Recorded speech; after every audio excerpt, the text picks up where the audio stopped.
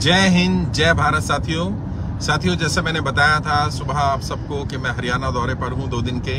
अभी हम लोग रोहतक से निकल चुके हैं, हिसार की तरफ़ जा रहे हैं हम लोग। हरियाणा की टीम के साथी मेरे साथ हैं, मैं आपसे उनका भी इंट्रोडक्शन करा देता हूँ। और अब दो दिन हरियाणा टीम के साथ ही गुजारूँगा।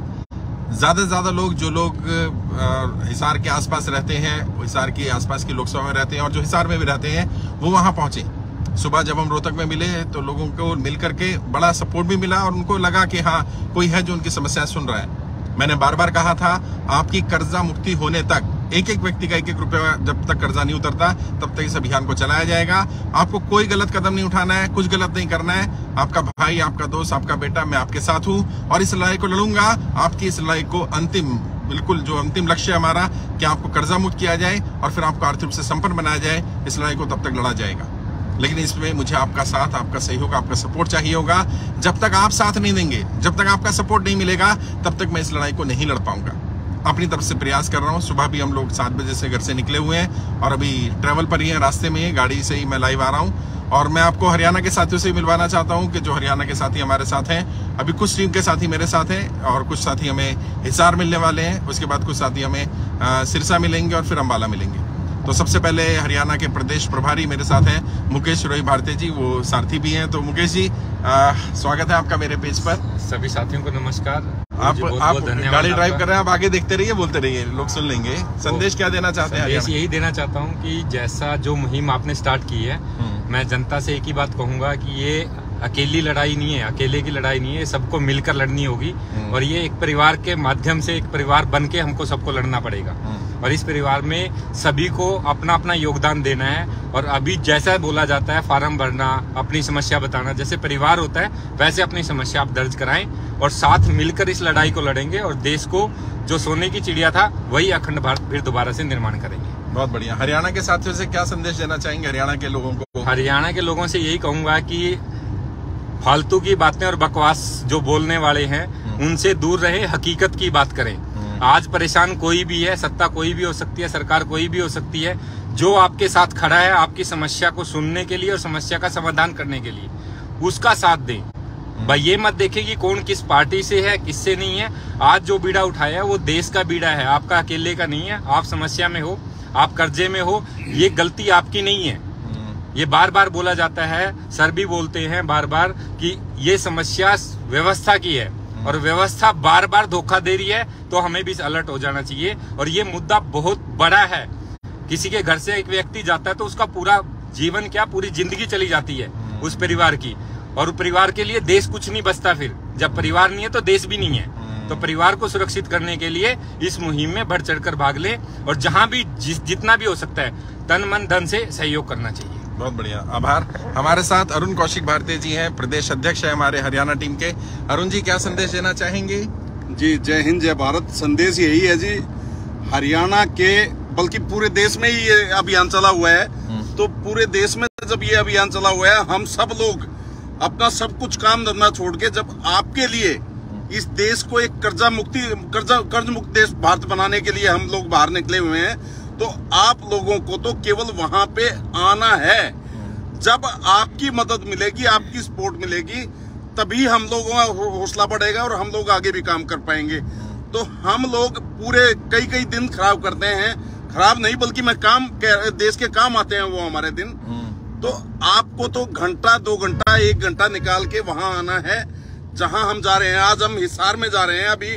दोपहर बाद हमारा तीन से चार के बीच में हिसार में प्रोग्राम है। चार बजे चार बजे। चार बजे हिसार में है तो हिसार नया बस अड्डा। हिसार नए बस अड्डे पे अभी पहुंचिए। कल सुबह दस बजे सिरसा में हमारा प्रोग्राम है। तो सुबह दस बजे सिरसा में वहाँ के आसपास के जो लोग हैं वो सिरसा में आए और कल दोपहर बाद चार बजे चार बजे। शाम को चार बजे। कल अम्बाला में प्रोग्राम है। तो आप लोग वहाँ पे पहुंचिए। और इस पूरे हरियाणा की बाकी जो बचे हुए हैं हमारे गुरुजी का मैं तो एहसानमंद हूँ कि उन्होंने हरियाणा के लिए समय निकाला।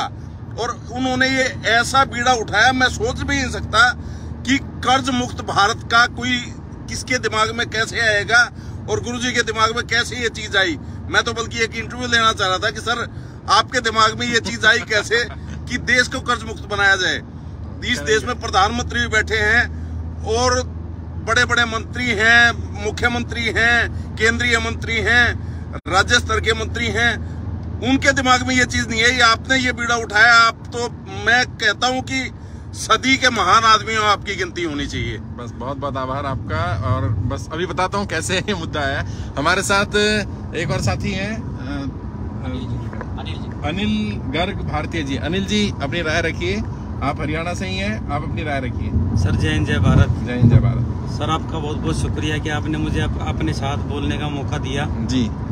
सर आपने जो ये मुहिम चलाई है कर्ज मुक्त भारत ये बहुत ही बेहतरीन मुहिम चलाई है। इसके ज़रिए हम जैसे लोग तो बाहर आए हैं अपने घरों से लोगों को जोड़ने के लिए लोगों को कर्जे की दलदल से बाहर निकालने के लिए। लेकिन अब धीरे धीरे हमें काफ़ी जन समर्थन मिल, मिल रहा है। चारों तरफ़ से लोग अपने घरों से बाहर निकलने लगे हैं हमारे साथ जुड़ने लगे हैं। मैं शुक्रिया अदा करना चाहूँगा सर आपका कि आपने इतनी इतना बढ़िया काम किया इतनी बढ़िया मुहिम चलाई जो सारे देश को जोड़ने का काम कर रही है। बहुत बहुत शुक्रिया अनिल जी। हमारे साथ राहुल पारचा भारती जी भी हैं। राहुल जी के पास अभी एक फ़ोन कॉल आया था हांसी से हम हांसी ही हैं। अगर मैं आपको दिखाऊँ तो हम हांसी शहर इधर से निकल रहा है। हांसी में ही एक फ़ोन आया अभी राहुल जी के पास। राहुल जी क्या फ़ोन था और क्या कह रहे थे वो? नमस्कार साथियों, अभी जो मेरे पास फ़ोन आया था, उन्होंने बताया कि हांसी के गाँव में एक व्यक्ति को 21 लाख रुपए किसी को देने थे, उसने ब्याज पर लिए हुए थे, लेकिन वो पैसे ना देने के कारण उनने आत्महत्या कर ली। उसकी डेड बॉडी अभी हॉस्पिटल में ही है, एक साथी है, उन्होंने जो ये जानकारी मुझे दी है, वो अभी मिलने आने वाले हैं हिसार में। और जब ये खबर पक्की हो जाएगी, कुछ साक्ष्य मिल जाएँगे तो आपसे ये खबर भी बांटी जाएगी। बताया भी जाएगा कौन साथी थे, कौन चले गए। अगर हमें ये खबर पहले मिलती कि वो कर्जे में है तो हम शायद उन्हें मरने से रोक सकते थे। आपके आसपास भी अगर कोई ऐसा व्यक्ति हो जो कर्जे के दलदल में फंसा हुआ हो और ऐसी कोई जानकारी आपको मिलती है तो उसका संपर्क, या तो उसे हमारा संपर्क सूत्र दीजिए, या फिर उसका संपर्क सूत्र हमें दे दीजिए, ताकि हम उसकी जान तो बचा पाए। मरने नहीं देंगे किसी को भी। बहुत बढ़िया। और देखिए मैंने बार बार कहा है कि ये समय लड़ने का है गलत फैसले लेने का नहीं है। कुछ भी गलत कदम मत उठाइए। हम लोग आपके लिए लड़ाई लड़ रहे हैं। अगर आप ही नहीं बचेंगे तो लड़ाई किसके लिए लड़ी जा रही है? प्लीज़ ऐसा कोई कदम मत उठाइए। अगर आप कर्जे की दलदल में फंसे इसमें आपकी गलती नहीं है। इसके लिए सरकार की गलत नीतियाँ जिम्मेदार है। और आज नहीं तो कल सबका कर्जा माफ़ होगा ही। आ, मुकेश जी एक बार आप अपना नंबर शेयर कर दीजिए। अगर लोग संपर्क करना चाहें तो मुकेश जी का मेरा, नंबर मेरा नंबर है nine two zero five one three six nine zero nine. Haryana nine two zero five three one five one three six nine zero nine. Haryana का कोई भी साथी या कहीं से भी कोई भी साथी बात करना चाहता है किसी टाइप की कोई प्रॉब्लम्स है बैंकिंग वाले परेशान कर रहे हैं कोर्ट से कोई नोटिस आ रहा है कोई भी सलाह किसी भी टाइप के ये निशुल्क है कोई भी कर्जा मुक्ति केंद्र से या कर्जा मुक्ति भारत में कोई भी आपसे पैसा नहीं मांगेगा। और ये निशुल्क है किसी भी टाइम 24 घंटे हमारे फ़ोन ऑन है। किसी भी टाइम आप कॉल करके बात कर सकते हैं। हम आपके साथ खड़े हैं। पहले भी खड़े थे आज भी खड़े हैं और जब तक आपका कर्जा माफ़ नहीं होगा जैसा गुरुजी ने बताया हम आपके साथ तन मन धन से खड़े रहेंगे। बहुत बहुत शुक्रिया। अरुण जी आप भी अपना नंबर शेयर कर दीजिए। लोग अगर आपसे संपर्क करना चाहें तो किस नंबर पर करेंगे? मेरा नंबर है जी nine four one six zero one four three seven nine चौरानवे एक सौ साठ चौदह तीन सौ उनासी।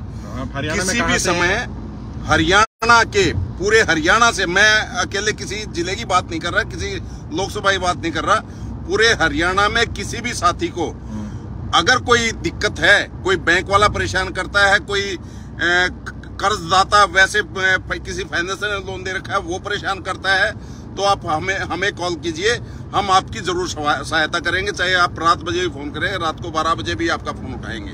बहुत बढ़िया। बहुत बढ़िया। देखिए पूरी टीम आपके लिए धन मन धन से लगी हुई है और देश के जिन भी राज्यों में जा रहा हूँ सभी टीम के सदस्यों से भी आपकी बात करा रहा हूँ आपको मिलवा रहा हूँ। आप लोग संपर्क करिए और ये लोग मदद करेंगे हर संभव मदद दी जाएगी और जैसा बताया गया कर्जा मुक्ति अभियान पूरी तरह से निःशुल्क है। एक रुपया भी चार्ज नहीं किया जाएगा।